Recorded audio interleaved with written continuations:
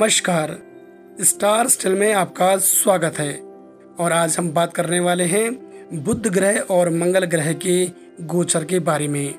एक जून 2021 को बुध ग्रह पश्चिम में अस्त होंगे। और अगले दिन यानी कि ठीक 2 जून को मंगल ग्रह कर्क राशि में प्रवेश करेंगे। और इसके साथ ही बुध ग्रह भी वृष राशि में जाएँगे। आइए जानते हैं इस गोचर का राशियों पर क्या प्रभाव पड़ेगा। सबसे पहले हम आपको बता दें कि हम एक सामान्य फल की बात कर रहे हैं। यदि आप अपनी व्यक्तिगत कुंडली का हमारे साथ विश्लेषण करवाना चाहते हैं तो आप हमें किसी भी वक्त कॉल कर सकते हैं।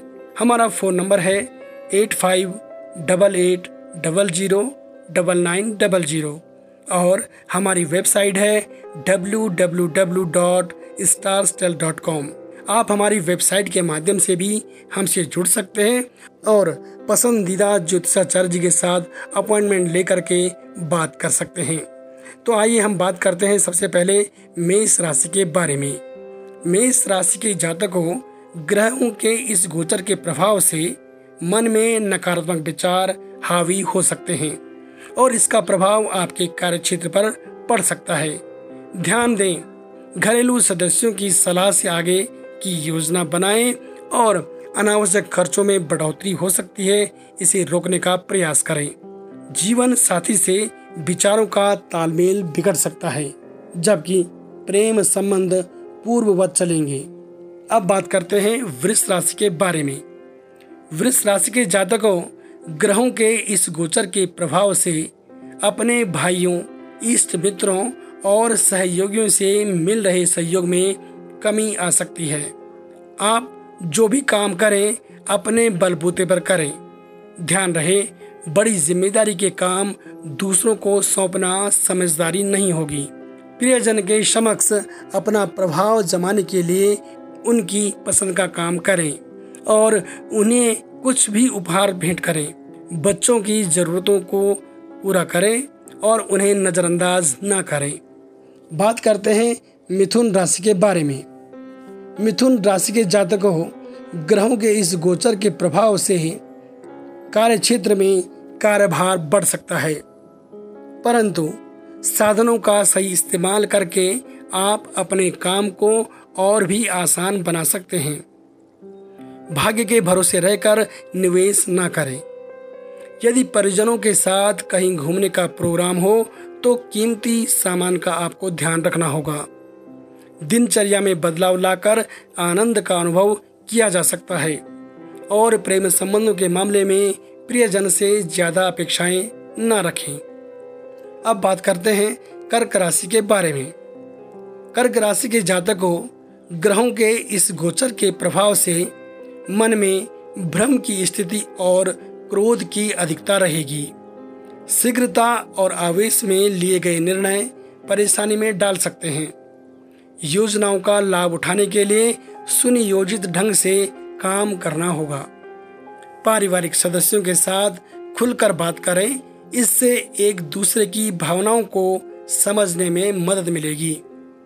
प्रियजन से आपको आश्चर्यजनक व्यवहार की प्राप्ति हो सकती है और रिश्तों में नयापन आएगा। बात करते हैं सिंह राशि के बारे में। सिंह राशि के जातकों ग्रहों के इस गोचर के प्रभाव से कार्य क्षेत्र में नकारात्मक परिस्थितियाँ उत्पन्न हो सकती हैं। परंतु सावधानी रखने से हर परेशानी का समाधान निकल जाएगा। दिखावे में आकर अनावश्यक व्यय करने से खुद को रोकना होगा। घर के बड़े सदस्य द्वारा दी जाने वाली सलाह से आर्थिक लाभ की प्राप्ति होगी। प्रियजन का ध्यान रखें और उनकी भावनाओं की कदर करें। अब बात करते हैं कन्या राशि के बारे में। कन्या राशि के जातकों ग्रहों के इस गोचर के प्रभाव से घरेलू जरूरतों को पूरा करने में कुछ दिक्कत महसूस होगी। घर परिवार का वातावरण अच्छा रहेगा, परंतु मन में गुप्त भय रहेगा। बच्चों की बातों से मनोबल बढ़ेगा कार्य क्षेत्र में लाभ प्राप्त करने के लिए गलतियों को ना दोहराएँ और अपने सहयोगियों की बात का भी सम्मान करें। अब बात करते हैं तुला राशि के बारे में। तुला राशि के जातकों, ग्रहों के इस गोचर के प्रभाव से परिवार में चल रहा तनाव नया मोड़ ले सकता है। यदि आप घर के मुखिया हैं तो आपको सोच समझकर निर्णय लेने होंगे। वार्तालाप के समय शब्दों पर ध्यान दें। ग्रहों की स्थिति प्रेम संबंधों में नयापन लाने की ओर इशारा कर रही है। कार्य क्षेत्र में अच्छी खबर और नए प्रस्ताव के लिए थोड़ी और प्रतीक्षा करनी पड़ सकती है। प्रतिस्पर्धा का विचार अभी मन से आप निकाल दें। बात करते हैं वृश्चिक राशि के बारे में। वृश्चिक राशि के जातकों, ग्रहों के इस गोचर के प्रभाव से विरोधी बार बार काम में बाधा डालने की कोशिश करेंगे। कड़ी मेहनत के बाद जीव को पार्जन हेतु धन अर्जित कर सकेंगे। सामाजिक कार्यों का दबाव चिंता दे सकता है। अतः अतिरिक्त ज़िम्मेदारी लेने से बचें। घरेलू जरूरतें बढ़ सकती हैं। प्रियजन से आकस्मिक ऐसा खुशी का समाचार मिल सकता है, जिसकी आपने कल्पना नहीं की थी। सेहत को नज़रअंदाज न करें, सेहत पर ध्यान दें। अब बात करते हैं धनु राशि के बारे में। धनु राशि के जातकों, ग्रहों के इस गोचर के प्रभाव से कार्य क्षेत्र में ज़्यादा मेहनत करने की ज़रूरत पड़ेगी। यदि लक्ष्य की प्राप्ति जल्दी चाहते हो तो काम करने के तरीके में बदलाव लाने की ज़रूरत है। कुछ नए प्रस्ताव किसी पुराने जानकार के माध्यम से मिल सकते हैं। घर में किसी सदस्य की सफलता से खुशी मिलेगी, और प्रियजन के लिए समय निकालना होगा। यदि आप वाहन चलाते हैं तो यातायात के नियमों का पालन करें। बात करते हैं मकर राशि के बारे में। मकर राशि के जातकों, ग्रहों के इस गोचर के प्रभाव से परिजनों की आपसे अपेक्षाएँ बढ़ जाएँगी। घर में किसी छोटे सदस्य को आपके मार्गदर्शन की ज़रूरत पड़ सकती है। जबकि जीवन साथी से विचारों का तालमेल बिठाने में परेशानी महसूस होगी। शांति और संयम से काम लेना होगा। जहाँ तक सवाल कार्य क्षेत्र का है तो कार्यों में उतार चढ़ाव की स्थिति रहेगी।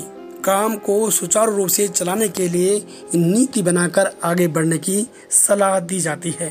बात करते हैं कुंभ राशि के बारे में।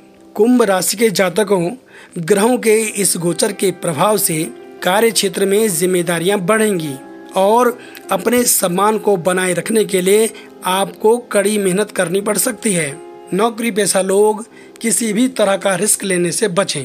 परिवार में मांगलिक उत्सव होने की संभावना है। अपने क्रोध पर नियंत्रण रखकर व्यवहारिकता अपनाने की सलाह दी जाती है। यदि घर में कोई अविवाहित जातक हो तो उनके लिए कहीं से सुखद समाचार मिल सकता है। शत्रुओं को या विरोधियों को आप हल्के में न लें और उनकी गतिविधियों पर नज़र रखें। प्रियजन भी आपके व्यवहार से खुशी का अनुभव करेंगे। बात करते हैं आखिरी यानी कि मीन राशि के बारे में। मीन राशि के जातकों, ग्रहों के इस गोचर के प्रभाव से परिजनों के मन में आपके प्रति मतभेद पैदा हो सकता है। आपको चाहिए कि ऐसे वातावरण को समझदारी व बुद्धिमत्ता से सुलझाने का प्रयास करें। प्रियजन के साथ यादगार समय बीतेगा। कार्य में सहकर्मियों के साथ मिलजुल कर काम करेंगे तो आपको विशेष लाभ होगा। यदि आपने कोई योजना बना रखी है तो उसे लागू होने तक ऐसे लोगों के बीच में न रखें, जिन पर आपको शक हो या जो लोग आपके काम में अड़चन बाधाएँ पैदा कर सकते हैं। कोशिश करें कि अपने अहम को खुद पर हावी ना होने दें। यदि आपने यात्रा का प्रसंग बना रखा है तो यात्रा सावधानी से करें और अपने कीमती सामान को घर पर रखें या फिर अपनी देखरेख में ही रखें। किसी अजनबी पर जल्दी विश्वास करना आपको परेशानी में डाल सकता है।